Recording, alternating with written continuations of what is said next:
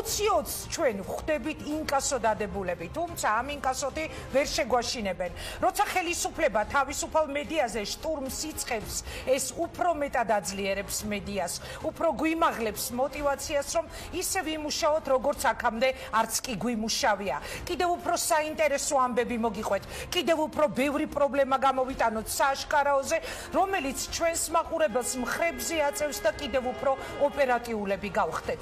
ხელისუფლება გვე გვეუბნება, რომ ინკასო დაგვადეს, რადგან ბიუჯეტის წინაშე ყველა კეთილსინდისიერი უნდა იყოს და გადასახადები გადაიხადოს, რომელიც მოსახლეობას უნდა მოხმარდეს. დიახ, ბატონო ხელისუფლებავ, დიახ, ჩვენც მაგას გიხსნით რა ხანია. ჩვენც მაგას გედავებით, რომ ყველა უნდა ვიყოთ კეთილსინდისიერები სახელმწიფო ბიუჯეტის წინაშე. ოღონდ მართლა ყველა და არა მხოლოდ კრიტიკული მედია. თქვენ ორმაგი სტანდარტები გაქვთ ბატონო ხელისუფლების ლიდერებო. ყველას ვინც ინკასო დაგვადეთ. იცით რატომ გაქვთ? იმიტომ რომ მილიონებს პატიობთ იმ მედიას, რომელიც თქვენზე და თქვენთვის მუშაობს და ენის მოჩლექით გესაუბრებათ და მათთან შედარებით მინიმალური თანხის გადავადებაზე გვეუბნებით უარს ჩვენ სულ რაღაც ორი კვირით გადავადებაზე. ტელევიზია არავისთვის იმის საშუალება ნამდვილად არ უნდა იყოს, რომ თავიდან აირიდოს გადასახადები და ამის ნათელი დასტური. სწორედ TV პირველია, რომელიც მთელი 5 წლის განმავლობაში კეთილსინდისიერად იხდიდა გადასახადებს. მაშინ როცა მილიონებს პატიობდი თქვენს ტელევიზიებს, ბევრი მილიონი რომ აქვს ვალი, მაგალითად, იმედს ან მაესტროს, მაშინ არ გახსენდებათ, რომ ტელევიზია ინდულგენციას არ ნიშნავს და რომ ბიუჯეტში გადასახადის არ გადახდა დანაშაულია? თუ გახსენდებათ, მაგრამ თვალს ხუჭავთ, იმიტომ რომ ასე გაქვთ ნაბრძანები. ბიუჯეტი ნამდვილად ეკუთვნის ხალხს, როგორც დღეს ვიცე-პრემიერმა თეატოლუკიანმა თქვა და ხალხს მართლა უნდა დაუბრუნდეს კუთვნილი ფული. თანაც ამ სიღარიბით სავსე ქვეყანაში ხოდა გადაახდევინეთ ის მილიონები თქვენთვის კომფორტულ ტელევიზიებს და დაუბრუნეთ ხალხს თავისი ფული. TV პირველი მთელი ეს წლები იყო პასუხისმგებლობით სავსე კომპანია, ასეც ვაპირებთ გაგრძელებას და TV პირველს არასოდეს მოუტეხავს ხალხისთვის გადასახადები და არც ამჯერად ვტეხავთ. სხვათა შორის მხოლოდ ორი კვირით გადავადებას გთხოვდით. მე ვუერთდები თეატოლუკიანის პათოს. დაუბრუნეთ ხალხს თავისი ფული და გადაახდევინეთ მილიონები სხვა მედია საშუალებებს, ოღონდ 5 ან 10 წლით კი არ გადაუნაწილოთ. ახლავე გადაახდევინეთ, რადგან უამრავი გაჭირვებული ადამიანი ყავს ქვეყანაში, რომლებსაც სახელმწიფოსგან დახმარება სჭირდება. რამდენი ასეთი ადამიანი ცხოვრობს ჩვენს ქვეყანაში, რომელსაც თქვენ მართავთ?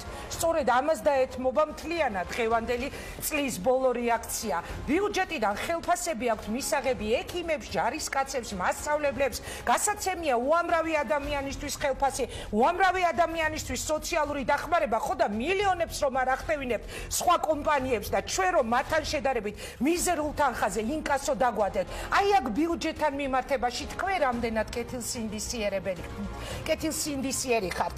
დღეს ლევან კობერიძე დამოუკიდებელი დეპუტატი წერდა ფინანსთა სამინისტროს ქმედება TV პირველსა და კავკასიასთან მიმართებაში, როცა მათ არეთანამშრომლება გადახდის გრაფიკთან დაკავშირებით, შერჩევითი სამართალიც კი არა, შერჩევითი უსამართლობა.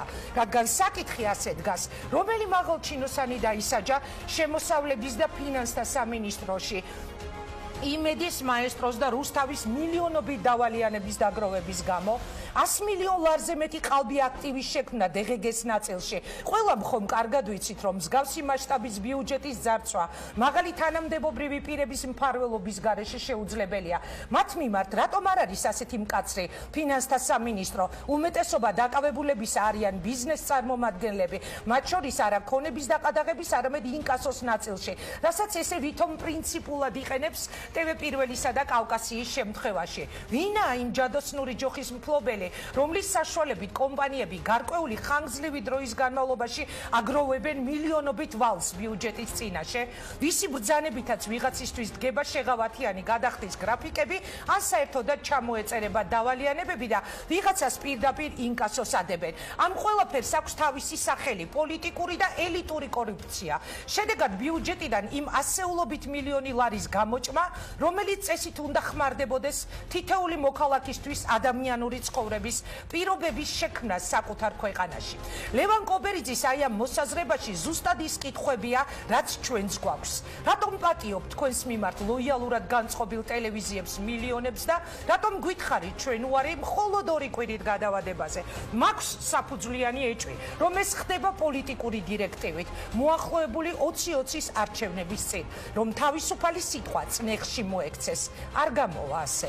აღადგინეთ სამართლიანობა, ყველა ტელევიზიას გადაახდევინეთ მილიონობით ვალი, რომელიც მართლა ჩვენი ქვეყნის მოსახლეობას უნდა მოხმარებოდა აქამდეც და უნდა მოხმარდეს ეხლაც და შემდეგ გვესაუბრეთ ულტიმატუმით. სხვანაირად ესაა შერჩევითი სამართალი.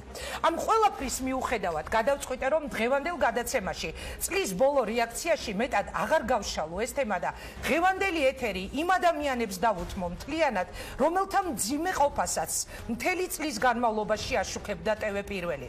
დღეს იმ ადამიანების რეაქციებს მოვუხარეთ ერთად თავი, ვინც თავად პოლიტიკურ გადაწყვეტილებებში ვერ მონაწილეობენ, მაგრამ სხვების პოლიტიკური გადაწყვეტილებები აისახება პირდაპირ მათ ცხოვრებაზე და როცა ბიუჯეტში გადასახადების გადახდის აუცილებლობაზე გვესაუბრებით, ამ ხალხზეც იფიქრეთ, მაშინ როცა სხვებს მილიონებს პატიობ და პატიობა ნამდვილად წლებითაც რომ უვადებთ მათ ამ ვალს.